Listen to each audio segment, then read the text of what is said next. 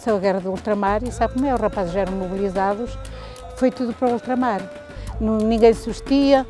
Um dia o meu pai disse-me assim, ó oh, Cecília, nem parece carnaval, veste lá de careta e vai dar uma volta ao povo, vais ver que ninguém te conhece.